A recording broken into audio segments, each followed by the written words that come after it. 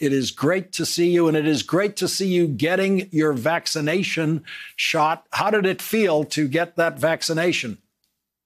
Well, it was actually very, very painless, and it was uh, administered by Dr. Joaquin Arambula, who is also in the state legislature of California. And of course, we're very grateful to, God, to Governor Gavin Newsom, uh, who set aside uh, these vaccines uh, for the farm workers. And uh, this is really important because so many of them have uh, gotten sick from, from uh, COVID 19. We have, as you know, an inappropriate number or an inordinate number of people that have died in the Latino community. So hopefully, with the vaccines, that some people can, more people can be saved. And we also just want to add that many of the farm workers, as you know, are undocumented. And uh, the fact that uh, they passed uh, the stimulus package to be able to help people. And uh, in that package, many of the undocumented workers, farm workers who are putting the food on everybody's table every single day, will also be protected. And so the farm workers are very grateful, and we're doing everything that we can uh, to let people know that the vaccines are going to be available, and we want everybody to get vaccinated. Si se puede. Lawrence, we can make sure that we're all safe.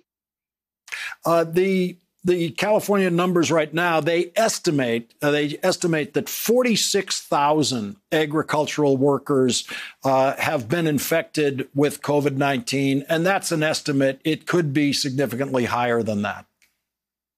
Yes, because oftentimes when workers would complain uh, that they weren't uh, vaccinated, that they weren't given the uh, the protective equipment, that they were working too close to each other. And in some instances, farm workers actually had to go on strike uh, to be able to get the protective equipment that they needed. And oftentimes, when they when they protested, they were actually told not to come back to work. Uh, so uh, it became very very difficult for the workers, and then of course for their families. So we are very grateful that the vaccines are finally uh, being made available by uh, Governor Gavin Newsom, and the farm workers will finally get some protection. And we have to mention the, the packing house workers too because for them it was very, very difficult uh, to have any kind of distancing uh, when they did their work. You know what? We showed some video at the beginning of this of a, a farm worker uh, talking about getting the vaccine, and she could not even turn away from her work to talk because the work is so constant, so nonstop. And that's true whenever you see video of the farm workers. Uh, they they will talk on video, but they will never take the time to turn away from the work because they're not allowed to in the pace of the work in the course of the day.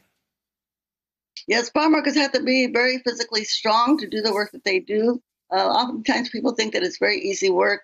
And so we just have to remind everybody, and a lot of those, uh, I want to say the Republicans that voted uh, against the relief bill, that these are the people that are putting the food on your table. And so we always want to be grateful uh, to the farm workers. Think about them uh, when you're eating, when you're sitting down eating your meals, and and, and send them a little prayer of thank you for all the work that they do to keep everybody fed and to keep us with uh, the nutrition that we need. Thank you. Thank you. Thank you. Thank you very much. Thank all of you out there. Thank you as always. Thanks to at home. Thanks for watching. Thank you so much for letting us into your homes during these extraordinary times.